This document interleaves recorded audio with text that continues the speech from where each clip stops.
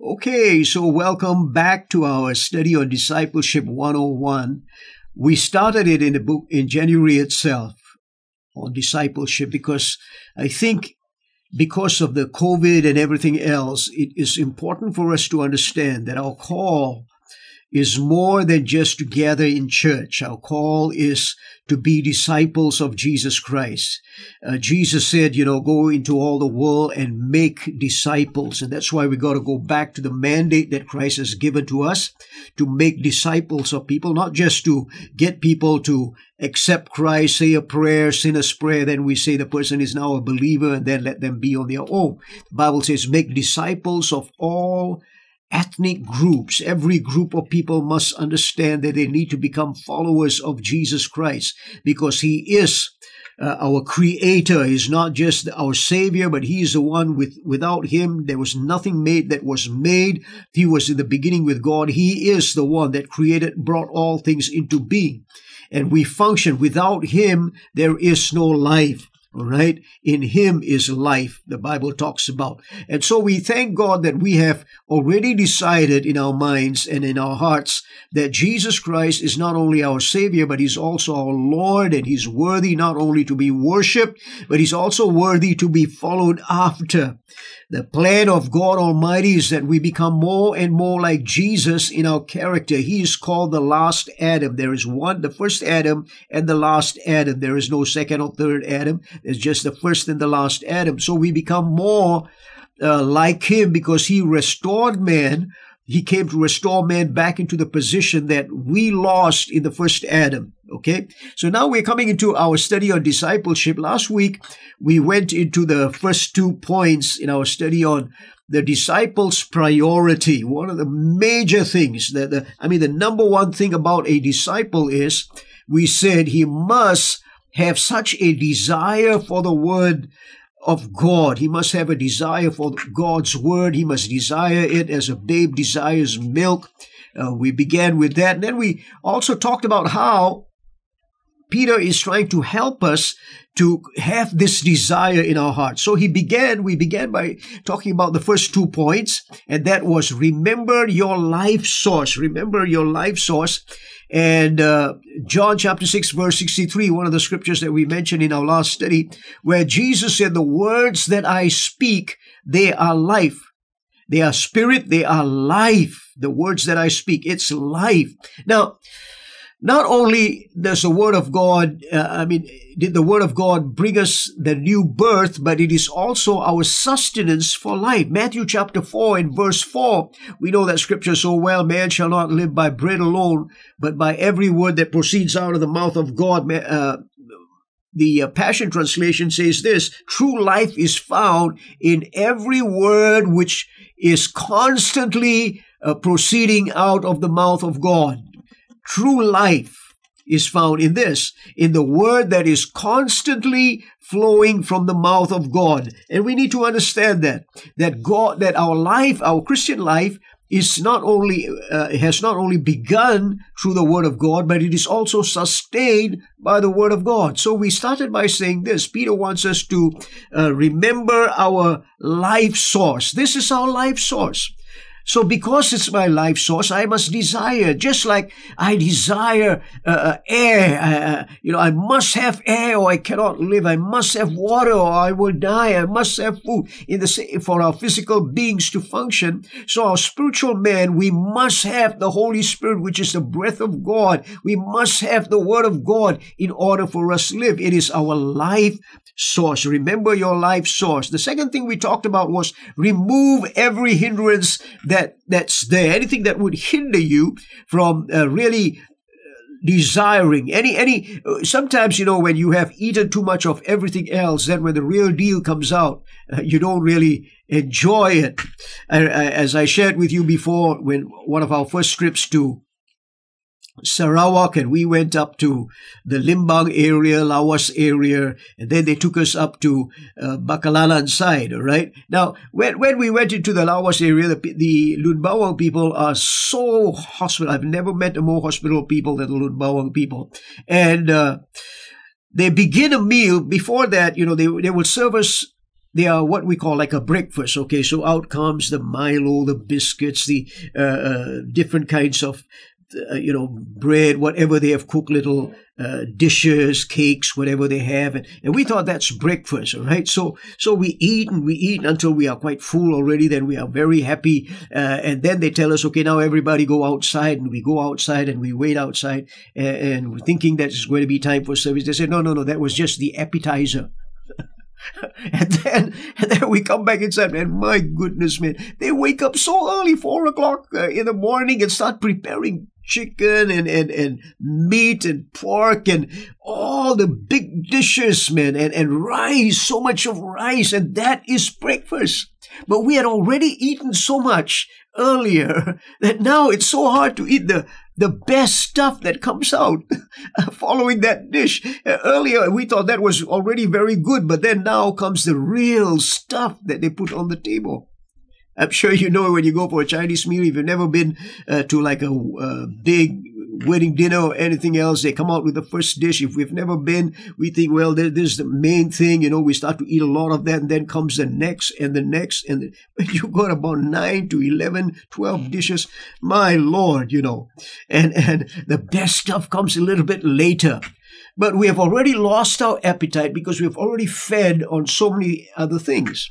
So that's why we can also lose our appetite for the Word of God. And, and that must be our number one priority. We must desire sincerely the pure milk of the Word of God. So remove every other hindrance so that there will be a clear path or a good appetite for the good stuff. Number three, today recognize my need. Now, he doesn't just say, Peter does not just say as babes, he says as newborn babes. And the word that he uses is brephos, which means an unborn fetus or a newborn infant. Think with me for a while. He's writing this in what we call barbaric times, what we would refer to in comparison to what we have today, those were like barbaric times. 2000 over years ago, many mothers would die at childbirth. They didn't have formulas. They didn't have milk bottles as such, you know. And, and so what they would have is just a mother's milk until a child is weaned off her mother's breast or his mother's breast And, until the child is weaned. We call the child has now been weaned. It does not need this milk anymore. Then that word brephos is no longer used for that baby. All right. Even though the baby, uh, uh, you know, is still a baby, but does not need the mother's milk anymore, then we, they would refer to that child uh, no, no longer as a brephos. Okay, so it is only used, Peter is using a term of an infant that is still at its mother's breast as newborn babes, he says you've got to decide. Now, as I said earlier, the baby does not care. Does not even care what mommy's face looks like, and definitely does not care what daddy's face looks like. Ah, that's why babies cry when they want to see daddy's face. Okay, but anyway, it does not care the color of its skin. It does not care about its hair, whether it has hair or does not have hair, you know. It does not care that the skin is, is a little bit bigger for, for it. When it comes out, it's got like shriveled skin. It does not look very nice until it starts to fill up, uh, uh, you know. But the baby doesn't care about that. It's not embarrassed by how it looks. It comes out into the world naked exit into the world and they're not embarrassed that they are naked. They just scream. And what do they want? The first thing they want is mommy's milk. So that is their desperate need. The desperate need is I must have the pure milk of mommy. And so that Peter is saying, I want you to have that kind of a desperate, recognize this need that, that is there in your spirit man. Sometimes it's so dormant, we don't even realize that that is what we need. And he's trying to awaken it. This must become a desperate need in our hearts.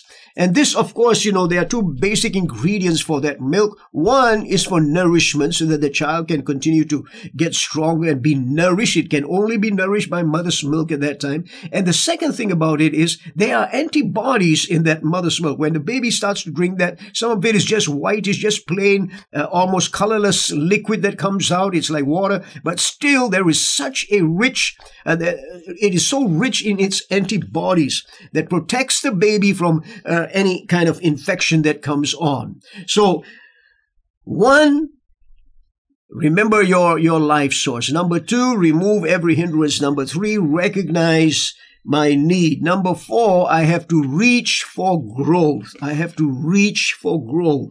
For this milk, in uh, translation, uh, Passion Translation says this in verse 2 For this milk will cause you to grow into maturity, fully nourished and strong for life. You know, God's plan is that we become mature. John chapter 1 verse 12. For as many as received him, to them he gave the authority to become sons of God. We often say, well, once we receive Christ, we become children of God. Full stop. No, no, no, no. To become sons of God. Not to be, not, not to, as many as receive him, they become. It is they are becoming. They shall become to, to become sons of God and and we are becoming we are growing we are maturing. There must be a growth in our spiritual life. And that's why i say we often got to check our prayer life. Is my prayer life the same as it was you know when i first got saved? Am i still praying baby talk? If i were to uh, be asked to lead in prayer what would my prayer sound like? Will i be stumbling over the words because i've not been practicing my prayer life in his presence? See so all these things would begin to uh, uh, come into effect. We have to take it as our personal responsibility. You know, there's an Irish saying, doesn't matter how tall your grandfather was, you've got to do your own growing. Doesn't matter how tall grandpa was. I've got to do my own growing. It is a personal responsibility. So Paul speaks about himself. He speaks about in Philippians chapter 3 and verse 12. He says, man, not, not like I myself have already attained. I am pressing on. I, I am reaching out. I, I want to reach the place where God can say, you know, this is good. You're growing in me. Talking about that, did you know that Jesus, it says at the beginning after he, he is found in the temple and all that, it says, and Jesus grew he grew in favor. We grow in favor with God and with man. And I think this is a sign of maturity when we grow in favor with God and with man. So it's a growing process, uh, you know, where God begins to say, okay, now I can trust you with different things. Like, uh, I think Jonathan, who preached that God does not have favorites, but we grow in favor as we begin to show God that we can be trusted with different things. Uh, we can be trusted with authority. We can be trusted with certain wealth in our lives. We can be trusted with certain blessings.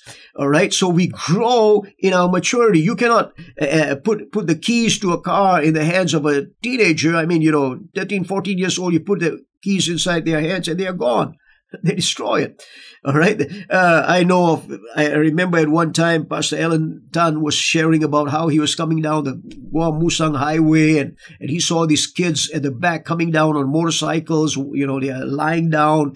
I think there were two or three of them and they overtook him and overtook another car, but the last guy did not manage to overtake, hit another car right face on. The guy flew into his spout. The kid died. Pastor Ellen also had to go to the police station. And there's this, this, the father coming and crying. The son was underage, didn't have a license. See, see, that's why they, they, uh, we, God cannot entrust, you know, he cannot, we, that, that you don't find favor that God can trust you yet, so or trust me. So I need to grow in, in favor. And so he prays for us. He prays in Galatians chapter 4, verse 19, where he talks about my little children of whom again I travail that Christ can be formed in you. His cry Galatians 4:19 is that Christ can be formed in us. In other words, he is being formed a little at a time. Here a little, there a little. We are growing in the Lord. Now here are some evidences very quickly. Let me just give them to you. Evidences that I am growing in the Lord. One overflows into the other. The first thing is there is an increase in my understanding of the word of God. What happens is that comes as I begin to desire the word of God. How do I know that I'm growing? My, my desire is growing for God's word. There comes a deeper, uh, uh, richer understanding of the Word of God. It begins to increase in my life as I begin to discover greater spiritual truths, you know, uh, coming into my uh, understanding. I begin to say, oh, this is wonderful. I realize that God is now speaking to me. When I read the Word of God, it's no longer just uh, black dots on a white page, but God is now starting to speak to me. And I begin to understand, ah, now I see this. Ah, now I see that. All right. So uh, there is an increase in my understanding. Then that overflows into a deeper delight in pursuing more. So now that you come into a deeper understanding of the Word of God, you say, okay, man, this is great stuff. And so you want to eh, have a little bit more. You not only read the Word of God, you look up, a, you get yourself a little concordance, you get a little study book, you get other books that you want to read concerning different topics, you know. I love the old classics. I love the old old time preachers and, and their writings because they are so deep in their understanding of God and how God works. And when I read that, every time I read that, man, sometimes tears will stream down my cheeks and I would say, Oh Lord, help me to understand you the way these guys understood you. Huh? There, there comes a deeper understanding of God. I'll never forget standing in a, in this church where there were about maybe uh, 15, 20 people. All of them were 80 years old, uh, 70, 80 years old and above. The pastor, as I said, he was in his 70s and he was the youngest in the church, in this Welsh church. But anyway, they were there and then they got one of the people to pray. I think he, he must have been about 90 years old or 80 some 90 years old and got him to lead in prayer. And the way he prayed, when he began to pray, I'm the guest speaker, but when he began to pray, I felt like I was in kindergarten. His understanding of God, man. I mean, it was unbelievable. And you know what? One of the things that helps us in our understanding, helped me in my understanding, were the hymns we used to sing. And then when we sing that hymns, those hymns help me build a greater uh, uh, understanding, greater doctrine in my own being, you know, to appreciate God uh, for who He is. So there also comes not only an increase in my understanding, deeper in pursuing more, there comes a greater love for God. Once the Word of God becomes richer to you and you begin to start to love it and you want to get more out of it, there will come an increased love for God, a greater love for God. No doubt about it. You begin to say, God, now I begin to understand who you are. I used to see, you know, only maybe the dark side of God, that God is hard or God is harsh, but now I begin to read more and I understand more and oh, how much I appreciate you. Amazing grace really becomes amazing to you. And of course, the fourth thing that happens is there comes an established faith. Faith comes by hearing and hearing not other people's stories, but hearing the word of God. And your faith begins to get established. You can go through hell or high water, and yet at the same time say, God has already promised. I know God. His word is true. It is the word of God that will carry you through. Number five, recall your blessings. So he says in 1 Peter chapter 2 and verse 3, if you have tasted of the kindness of the Lord. He's talking about what? Desiring the word of God, desiring, longing for God's word. Then he says, man, if you think about the kindness of God, think about it. It will cause you to want to know more of the Word of God. He's basically referring, as I said, to Old Testament scriptures uh, because that's the only scriptures they had. He's referring to Psalm chapter 34 and verse 8. Oh, taste and see that the Lord is good. I like Ephesians chapter 2 and verse 7. This is what it says throughout the coming ages, we will be the visible display of the infinite, limitless riches of his grace and kindness which he has showered upon us in Christ Jesus. Have you felt like you have been showered in the kindness and the grace of God? The kindness and the grace of God. So think about all the times. I like to say, you know, survey how kind God has been to you. Lamentations chapter 3, 22 and 23. You know, your faithfulness is new every morning. It talks about, you know, your compassions, they fail not. Great is your faithfulness, O God. We sing about that. They are new every morning. The blessings of the Lord. Survey them. Survey the blessings that are upon you. Ephesians 1.13, praise be to God who has blessed us with every spiritual blessing. 1 Timothy 6, 17, uh, put their hope in God, which richly provides us with everything for our enjoyment. Isn't that a fantastic word? God has provided all things freely for our enjoyment. God is consistently, constantly, lavishly kind to all of us. Number six, richly cherish your privilege. Richly cherish your privilege. So verses 4 and verse 5, he talks about us being living stones. We are a holy priesthood. Now, this is against a backdrop. Peter's writing this to them against a backdrop that they understood very well, a backdrop of idolatry. Uh, idols of stone, now we have a stone that is living, a living stone, Jesus himself. Against an immoral priesthood that was in operate that was operating at that time to a holy priesthood. Pastor Lyfan and I had the privilege of being in Turkey, visiting the seven churches, and one of the places we went to was Ephesus. And in Ephesus, you know, a lot of the places are still there. You, archaeologists have done a tremendous job. And, and, you see basically the temple of Artemis or Diana. Uh, you've got all the houses that they stayed in. They had toilet facilities, different from ours, but still they had proper sewage system. And then you come down to the temple of Diana. And across the temple of Diana was this big uh, library. And what they had was they had an underground tunnel from the temple leading up to the library. All right. Now, very often the, the men would go to the temple of Diana and they would tell their wives they were going to the library. So in case the wives or whatever came, they would get their people to tell them the wives are coming. They would run from the temple right into the library and be found there. Simple reason being, in the temple, they practiced uh, sodomy, pedophilia, uh, they had prostitution, harlotry, we call it. All kinds of sexual immoral morality was being practiced in the name of worship.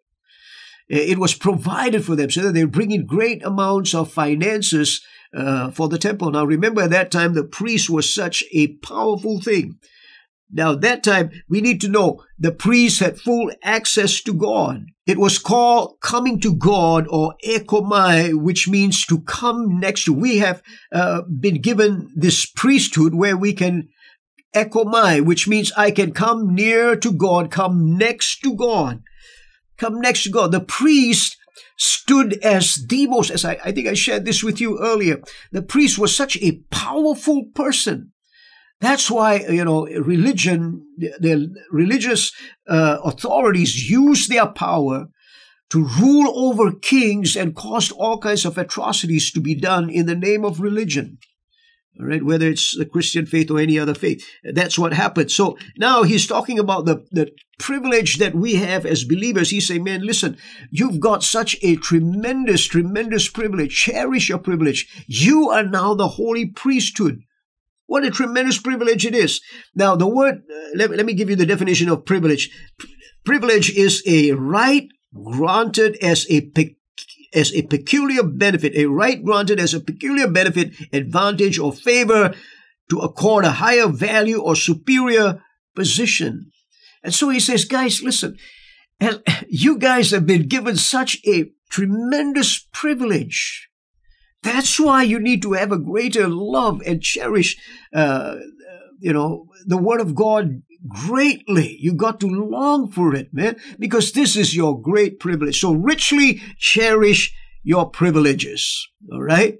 So here are those things, the six things that he gives to us so that we can understand the blessing of the Lord uh, that we have received from him. He says, now all these things, I hope these things will help you develop such a longing for the word of God.